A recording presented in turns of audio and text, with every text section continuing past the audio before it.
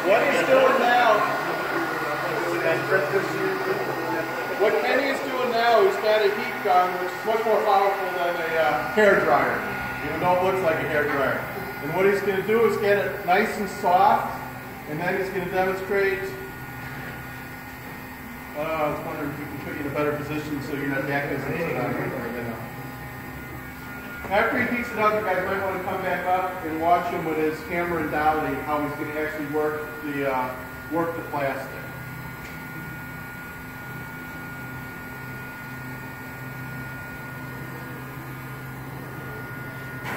It's pretty hot to get fire.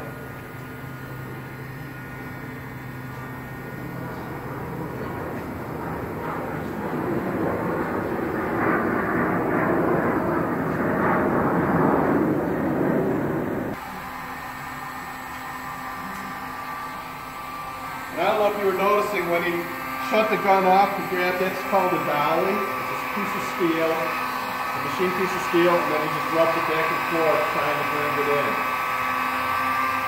And when he does it again, if you want to step up and look, you're welcome to look at it. That's not a problem.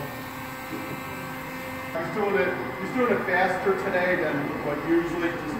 but this would be considered like a six-hour repair. Mm-hmm.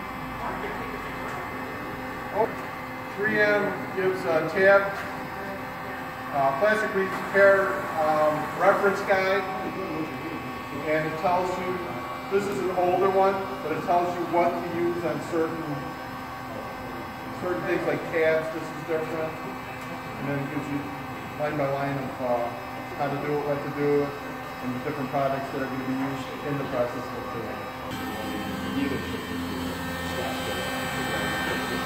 What it, it's, it's actually a uh, mobile guy. Oh, it is. And if anybody ever gets approached at Home Depot or Walmart or something, the guy said, "Well, you're in there. I can fix your car for a hundred bucks." Run from that guy.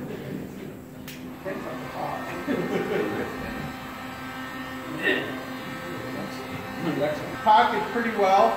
Now he's taking care of the crease that was in the bumper. It was uh, dished down about eight inches long.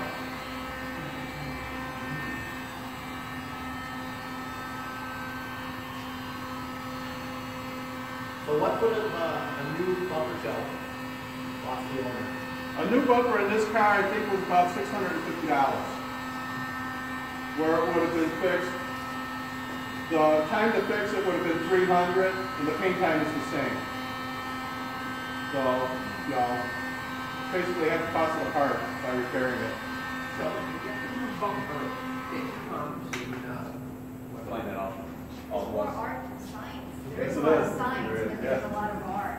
Andy, real quick, he's got, if you want to come up here and look at how he's got it pretty well back into place.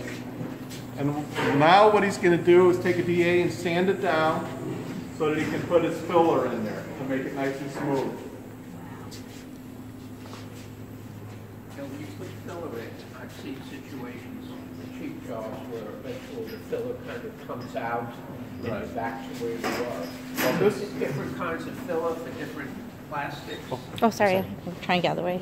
I'm using this one, Jeff. You got that chart? Yeah, but 3M makes different plastics for different, if it's cracked, you use one of them. If you're filling, you use a different one of them. But 3M, what it is, is basically, it's a plastic that he's putting back on There there. you go. And what he's going to do is he's going to sand it down, and then he will spread that on there. He spreads it on there like Bondo, but it's an actual plastic. It's not a Bondo material. JD.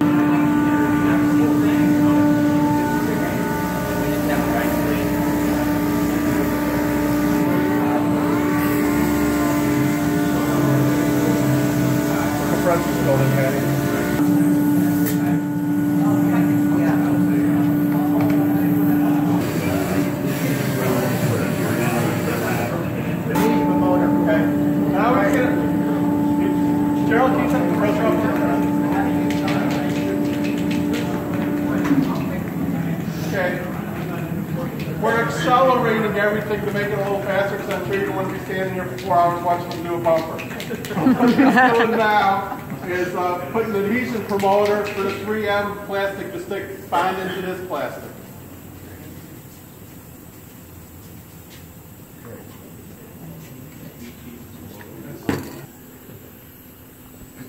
Every time that he puts adhesive on, he's going to have to put a new tip on because the tips dry relatively quickly.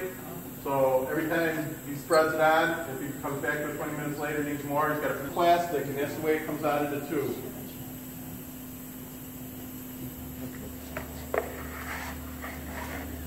So, well, one plunger might be in a quarter inch further than the other, so it comes out always the same proportions.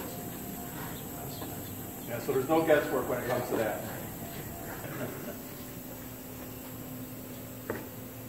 Nothing like having somebody watch you work. He's used to having me stand over him. On there, and then uh, waits for it to dry, and then he's going to go back to sanding it. Part of it will be with the DA, just knock, knock down the high spots, and the rest will be done by hand, so it's nice, flat, and smooth, and you'll never be able to see it. And that takes about a good half an hour, forty-five minutes to dry, right? Right.